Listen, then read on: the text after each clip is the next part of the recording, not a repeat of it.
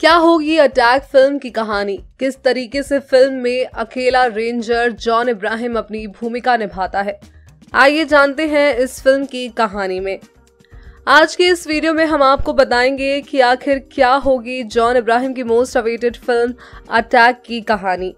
दोस्तों, सत्यमेव जयते टू के साथ साथ ये फ़िल्म भी इन दिनों काफ़ी बस बना रही है, जिसे अगले साल ही रिलीज़ किया जाएगा। फ़िल्म की क्या कहानी होगी? फ़िल्म में जॉन इब्राहिम के इस किरदार में देखने को मिलेंगे? उन सभी बातों को लेकर आज हम इस वीडियो में बात करने वाले हैं।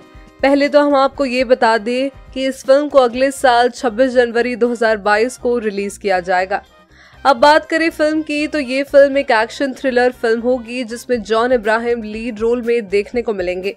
अटैक एक कमांडो टीम द्वारा किए गए बचाव अभियान की कहानी पर आधारित फ़िल्म होगी, जिसका नेतृत्व एक अकेला रेंजर यानी जॉन इब्राहिम करता है। बिना सबूत की हत्या और आज के समय के कश्मीरी पंडित के मुद्दों पर आधारित होगी। कश्मीर घाटी के हिंदू, जिनमें से अधिकांश कश्मीरी पंडित थे, आतंकवाद के परिणाम स्वरूप कश्मीर घाटी से भागने को मजबूर हुए, और ये फ़िल्म इन्हीं वास्तविक घटनाओं पर आधारित होगी। और ये एक बंधक संकट के बारे में होगी जिसने एक राष्ट्र को घुटने पर ला दिया। इस फ़िल्म में आपको जॉन इब्राहिम का दमदार एक्शन देखने को मिलेगा। फ़िल्म में जॉन इब्राहिम के अलावा और भी कलाकार हैं, जिनमें जैकलिन फर्नांडिस और रकुलप्रीत सिंह भी शामिल हैं, जो इस फ़िल्म के मुख्य भूमिकाओं में नज़र आएँगी।